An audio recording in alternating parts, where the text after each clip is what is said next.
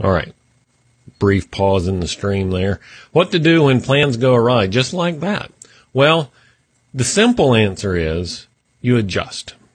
You know, very often we create these plans and we set um, a level of expectations and then have difficulty living up to those expectations. Or, you know, the conditions have difficulty living up to those expectations. And, you know, the, the reality is that a plan is just that. I think it was, uh, Patton, General Patton said no plan survives first contact with the enemy. That's true, right? I can have a plan to get to the office by eight o'clock, but if there's traffic out on the highway, that's not going to happen. So what do I do? I can adjust. I can either adjust the time that I expect to get there or I can try and find a new route to get there. But the original plan's not holding. I mean, that's just, that's just the way it is. Now, uh, I'm pretty sure this was Eisenhower that said plans are worthless, but planning is priceless. If plans are not, are meant to be broken almost, why bother with them? Well, because it helps us think through the possibilities. Now, we've talked before about fear and how fear uh, comes from uncertainty, right? All fear is rooted in uncertainty.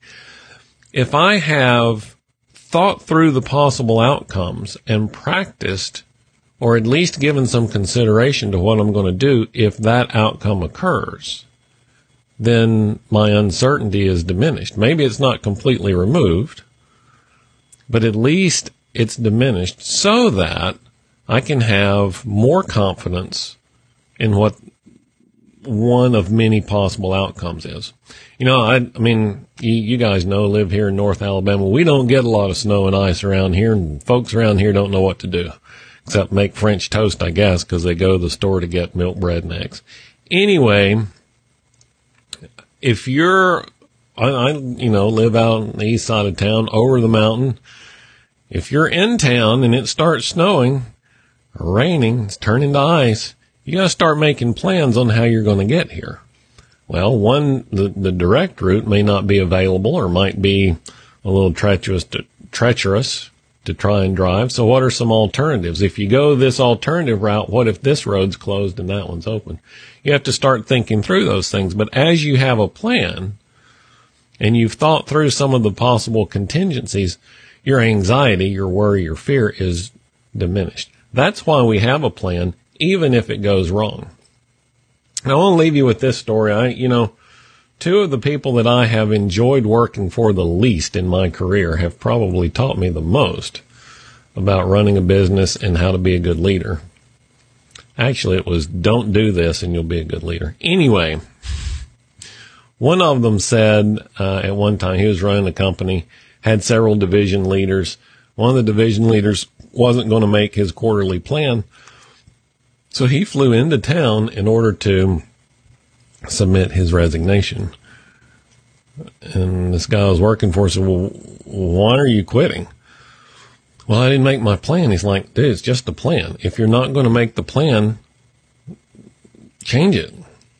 I mean, it, uh, the the plan is there so you can have some direction. I mean, this goes back to what we talk about all the time.